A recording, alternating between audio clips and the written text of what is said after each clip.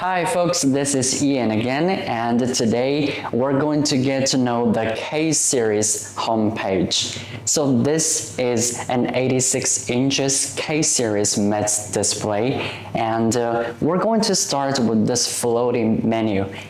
Just like our H series, we're having several easier access on the floating menu, like going to the home page and going to the whiteboard Uh, directly and go into the OPS and to come back at any page or to initiate the multitask or to do the annotation.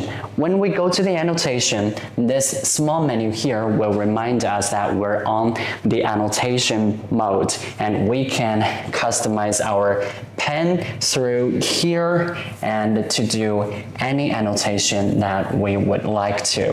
If we want to erase the annotation, there are actually several ways. So if we click on the eraser here, we can use our fingers to erase any area. If we choose this one, it means that we are going to circle one area and this area would be gone. And if we want to erase them all, just uh, slide here to clear the whole page. And uh, here we can have an encryption with a QR code. If we use our mobile devices to scan the code, we can have whatever we have written on this page. And if we want to go back to the main page, just simply click here and we're coming back. And from this side, we have some easy access to several functions like mirroring, whiteboard, and going to the OPS or going to the file manager. And if we click all applications, there are actually more interesting applications and it is more than one page and we're going to select some interesting features to introduce to you. We are having several ways to display our mobile devices. So we have four ways to connect our interactive panel to our mobile devices. And here we are going to use our computer as an example. So first we have this dongle and we're going to connect this device to our panel.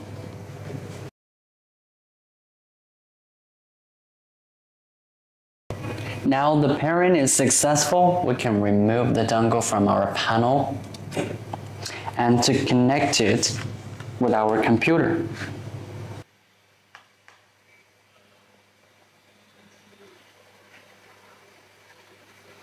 and we can access our whiteboard here and go to the system settings or to view the files or to edit one welcome page and uh, we can access the welcome page through the home page as well. So and calendars, galleries, camera, browser, just very basic functions that we would be using during a class.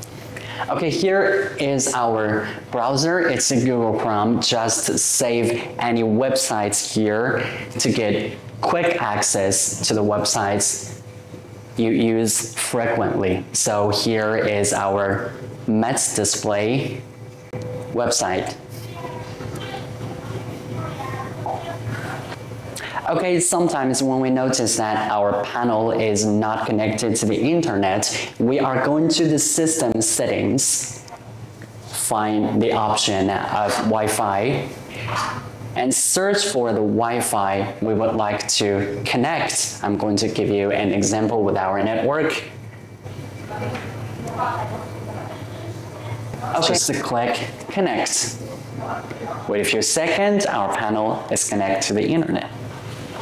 And just a little trick of using the panel, if we want to shut down the panel quickly, we can use our five fingers to put on the panel and it will be shut down. And using the same method, we can open it again.